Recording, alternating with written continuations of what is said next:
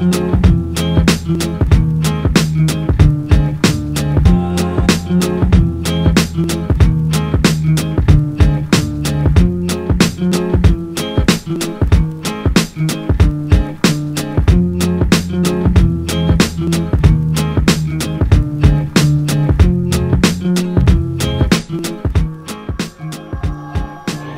really glad our school got the chance to come to base camp today.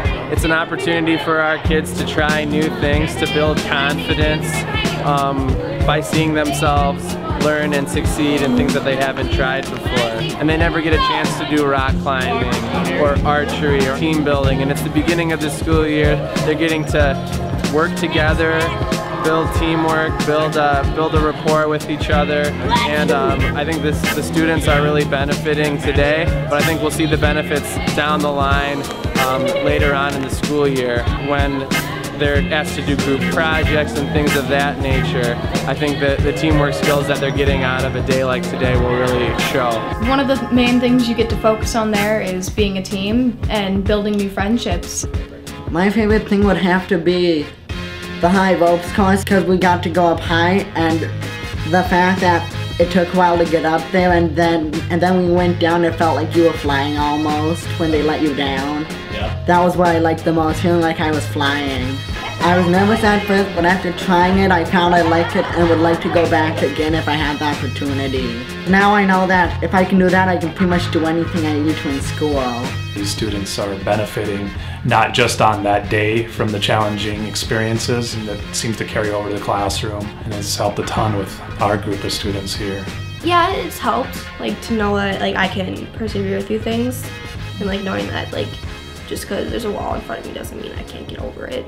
I know some of the kids said that you know they're tackling bigger and tougher projects in the in the classroom as groups and when they do that they already have that kind of that tie or that unity with some of the other fellow students that they had from that base camp experience and so those groups are running smoother.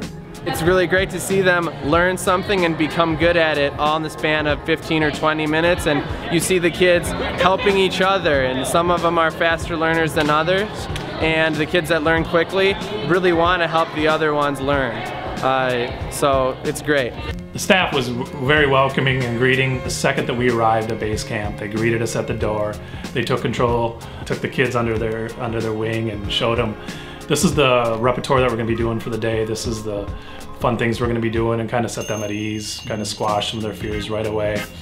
And told them they'll be having some fun and being challenged to their utmost. So it, the staff were very supportive and communicative. They talked to us, talked us through what we can do to help support our students too. Oh, they were so fun. They're all fun crew. They're all really nice. They were really nice. Yeah. It was a quick commute from White Bear right over to right by the airport there. The bus driver had no problems getting to the you know the location right by Fort Snelling. We used to travel across the St. Croix River to a Wisconsin camp, and uh, that was a it was a lot more expensive for transportation. And the kids, you know, would get a little antsy on that long bus ride, so it's nice for us to have something even close to home here. I can see the value in it for any level, you know, K through 12. Um, the kids that we had were 9th and 10th graders, and some of them were having fun like an elementary, you know, kid, and I can see any level, any student benefiting from base camp. Yeah, I'm glad I went. I've actually been wanting to go back.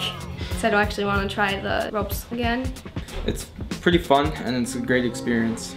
Would you go back to base camp if you had the opportunity? Definitely.